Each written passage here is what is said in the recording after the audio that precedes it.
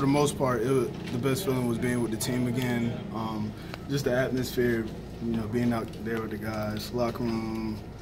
Um, it's really what I missed the most, and it, uh, to go with that, it felt good getting back in the end zone. So it was pretty First snap, took it to the house. Could you talk about that play or describe that play? Um, well, I mean, Coach R saw saw the uh, defense they were giving us, um, called a great play, and I mean, we blo- blocked it up, and you know, it worked out for the best. It, all I had to do was, you know, run straight. So.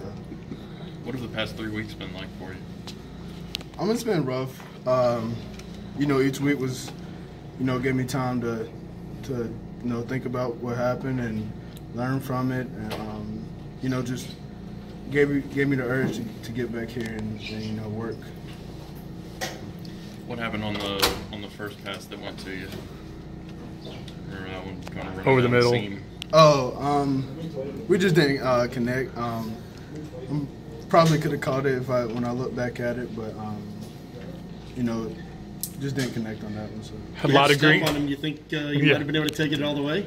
Uh, I think I think if if, if I would have got in the right position, I could have taken it all the way. Are you still adjusting to role as I guess are you a slot receiver or an emergency quarterback? Is that what are we doing here? Um, yeah, right now um, I've been practicing at the slot uh, primarily. Um, you know, still still working with the quarterbacks just so I can uh, you know stay in the system and, and in case uh, worst case scenario be able to uh, hop in that spot. But as, as for now, I'm a wide receiver.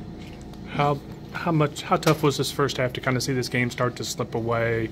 You guys know you got the crowd and got this opportunity with the top ten team at home. What was that like?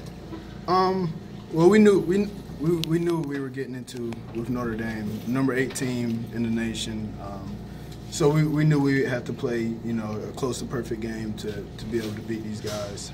So, um, you know, as they uh, the the scores started to separate, you know, um, we talked about resilience yesterday. We we continued to fight, and, and I love to see the fight in the guys, but. Um, you know, Notre Dame just outplayed us, and, and you know we just got to get back to the drawing boards.